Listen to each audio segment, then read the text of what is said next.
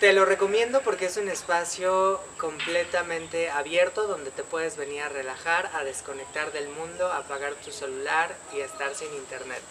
A estar en contacto con la naturaleza, a disfrutar del aire puro y de una vida completamente diferente a la que se lleva en las ciudades. Por eso te lo recomendaría.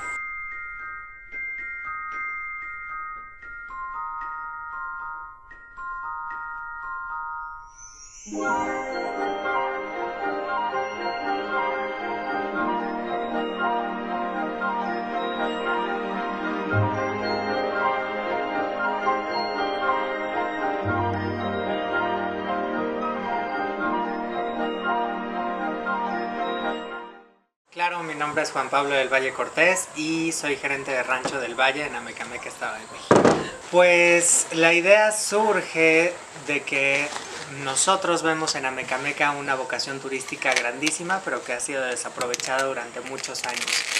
Creemos, y personalmente he hecho la comparación, de que si se nos hubiese volteado a ver poquito, poquito antes o muchos años antes, seríamos el Valle de Bravo en la zona oriente del Estado de México. Yo creo que hay mucho potencial, mucha gente con ganas de trabajar, muchos lugares por visitar, por explotar racionalmente especialmente. Y pues de ahí surge la idea de abrir Rancho del Valle y pues muchos otros sitios que se han abierto al público. Pues mira, la ruta se creó hace cuatro años, este sería nuestro cuarto aniversario, somos tres lugares las que la conforman. Rancho del Valle, Bosque Esmeralda y Chalmatitlalcululco. Eh, nos unió pues esta inquietud justamente de hacer crecer a Mecameca en el turismo, pero sobre todo darle a la gente de la capital de la República, es decir, la Ciudad de México, una opción más para poder salir. Estamos a escasos 50 minutos sin tráfico, por supuesto, de la Ciudad de México. Y pues les intentamos acercar lo que es el ecoturismo, cuidar la naturaleza. Y pues justamente ese es nuestro hashtag de este año, viajar para conservar.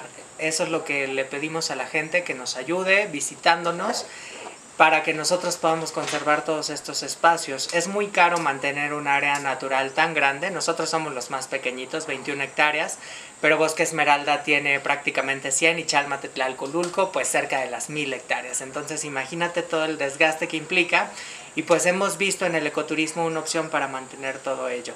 Especialmente la parte de la reforestación, pues hay que comprar la planta o si la procesas tú mismo desde la semillita, pues necesitas tu invernadero y demás.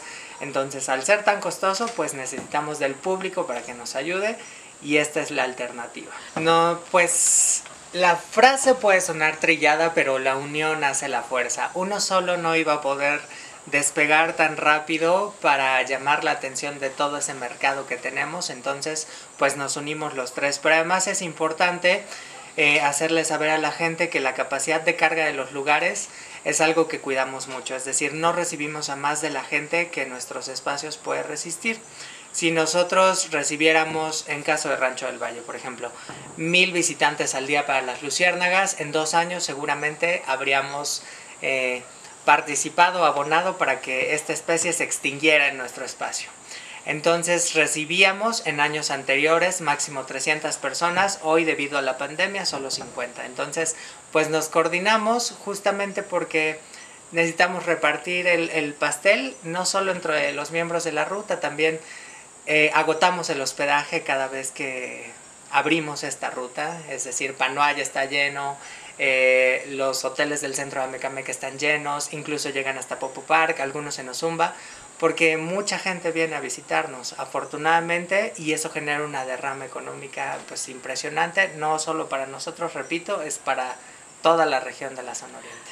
Pues principalmente eso, cuidando nuestra capacidad de carga, viendo las maneras viables y sostenibles, especialmente económicamente, de retribuirle a la naturaleza eso que nos está aportando, principalmente es la reforestación. Y eh, pues básicamente antes de hacer cualquier recorrido de las luciérnagas o cualquiera de los otros que se manejan en los otros dos espacios, se da básicamente una clase de educación ambiental. Se le explica a la gente qué es el espacio, qué va a haber, por qué somos un área natural, eh, por qué podríamos acceder a ser un área natural protegida, es decir, que, el gobierno pues, nos cobije de alguna manera.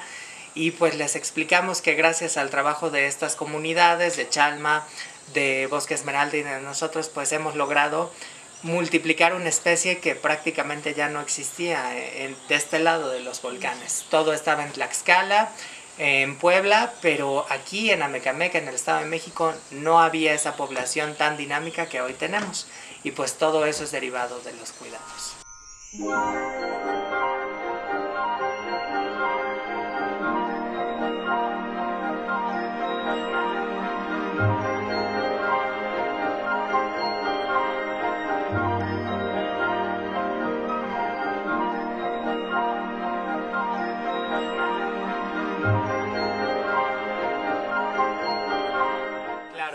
Pues para empezar que somos dichosos de tener a una de las 93 especies más o menos de luciérnagas que hay en México, se llama Fotinus palaciosa. La compartimos con Tlaxcala, con Puebla y es prácticamente el eje neovolcánico, así se le conoce. Les decimos también que la luciérnaga realmente no desaparece todo el año, todo el año está presente con nosotros, pero solo en los meses con lluvias, mayo, junio y julio, están presentes como un ser luminiscente todo el tiempo, el resto del año están creciendo, son una pequeña larva y crecen durante siete estadios y mientras están creciendo se alimentan de plagas, especialmente de algo conocido como gallinilla ciega.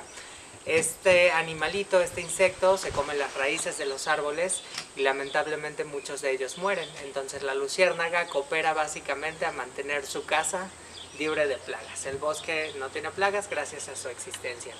Les comentamos también que la luz y el ruido, las grandes ciudades, ha sido como de los grandes partícipes para que esta luciérnaga haya desaparecido de muchos espacios, porque realmente a Mecameca, Ayapango y muchos otros sitios hace, no sé, 30 años, quizás 50, las tenía presentes, pero gracias a esa deforestación y el crecimiento, la urbanización, pues desaparecen. Entonces, les invitamos, o bueno, es obligatorio ahora, no hacer ruido durante todo el recorrido, no producir luz artificial, el flash, ese tipo de cosas no se puede usar y eh, tener mucho respeto de los santuarios, fijarnos dónde pisamos porque las hembras al ser muy grandes en comparación con el tamaño de sus alas están imposibilitadas para volar. Entonces se dedican a caminar pero en el pasto muy pequeño, de 10 centímetros o en las ramas de los árboles muy pequeñas. Entonces en un descuido, si la gente no se fija, si no toma la distancia, pues puede llegar a pisar alguna y eso es exactamente lo que queremos evitar.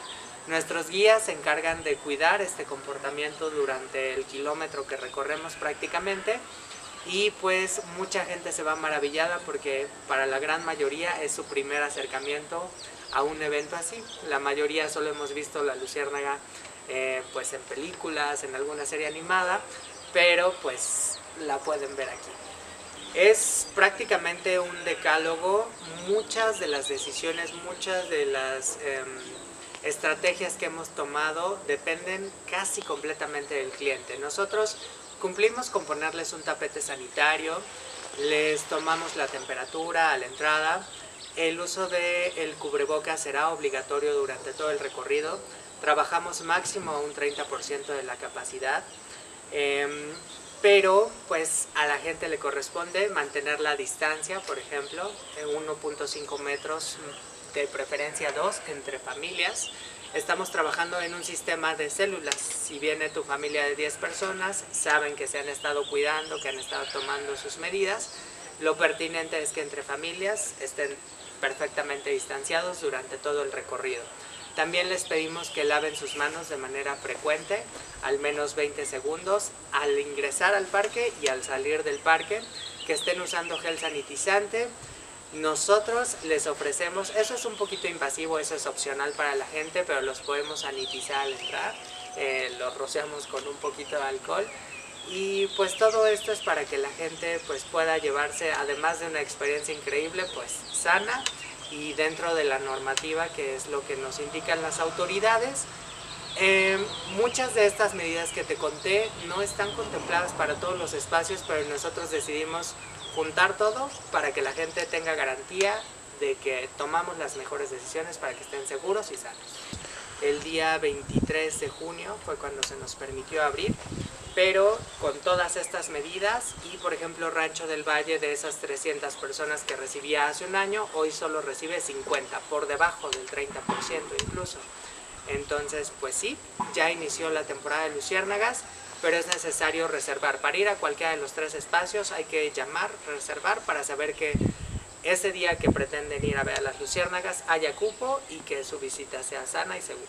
Es muy sencillo e intentamos ponerlo al alcance de todos. Lo hacemos a través de WhatsApp al 55 59 64 0017.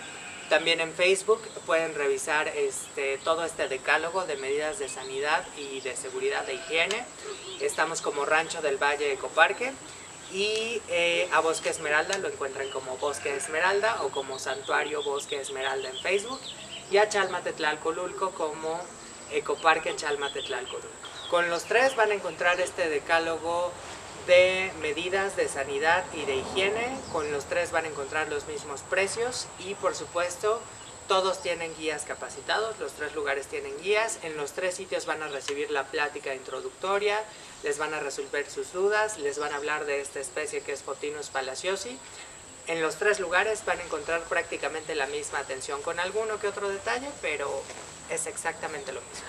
Eh, producimos muchas cosas artesanales, cajeta, miel, huevo, eh, la misma leche y por supuesto productos lácteos que ya son considerados gourmet. Producimos provolone, mozzarella, manchego, algunos quesos que eh, salen un poquito de lo normal, pero que le dan un valor agregado al producto original que es el oro blanco para nosotros, que es la leche.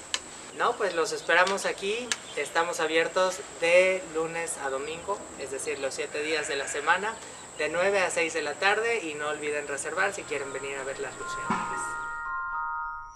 Yeah.